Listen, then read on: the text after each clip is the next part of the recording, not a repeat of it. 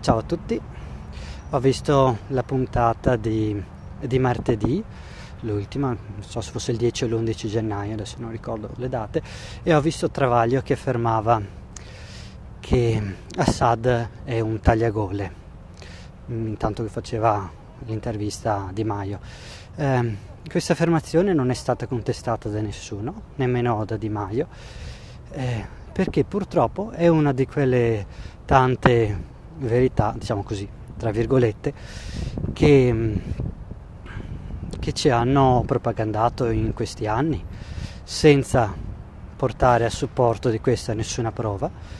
Tutte, tutti gli indizi che abbiamo sono, provengono da fonti molto dubbie, quali terroristi, oppure ribelli armati, oppure eh, attivisti finanziati o da Gran Bretagna o da Qatar. Ricordo che c'è stata anche, anche in Italia c'è stata l'esposizione fotografica tutti, che mostrava tutti i crimini, eh, tutte le torture inflitte da Assad ai, ai suoi prigionieri, anche questa finanziata dal, dal Qatar.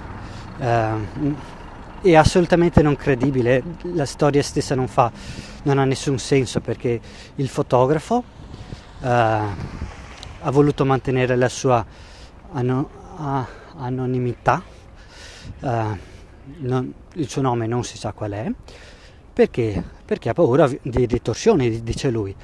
Però dopo dice o dicono insomma eh, quelli che organizzano questa esposizione che ha lavorato nelle prigioni di Assad come fotografo ehm, come si dice de- della scientifica insomma eh, della polizia eh, per alcuni mesi dicono le date da quando a quando. E beh, insomma, voi pensate davvero che Assad non sia in grado di trovarlo?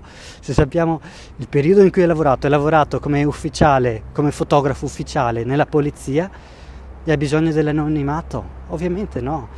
L'anonimato è solo una scusa perché noi, i giornalisti, non, non possiamo indagare e scoprire chi è questa persona, che legami ha, magari è, uh, ha dei legami con i terroristi, magari e questa, questo mina la credibilità senza poi contare che tutte queste sono foto, si parla di 11.000 foto, in realtà non sono 11.000, nessuno le ha mai viste tutte, si vedono sempre stesse, la stessa dozzina di fotografie che possono essere state prese ovunque e, e possono essere interpretate come si vuole. Ecco. Uh, vabbè, purtroppo tutte queste cose non, non vengono non vengono dette, né ben pochi lo sanno, bisogna leggere mezzi di informazione alternativi e perché venga il dubbio. La verità purtroppo è quasi impossibile da, da conoscere, eh, però almeno si può dubitare di quello che, che viene detto.